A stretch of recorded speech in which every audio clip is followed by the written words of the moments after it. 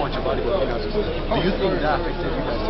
No, not really. You could say probably they had you know one one chance or half chance. Uh, you know, we knew they were going to be tough. We knew football is always difficult. We respected them and you know tried to be very very solid. And, uh, they didn't they didn't create much. Though they fought very hard, and I think uh, we going one man down gives them the opportunity to score. I wish Yeah, thank you. Yeah. Don't, don't, don't, don't,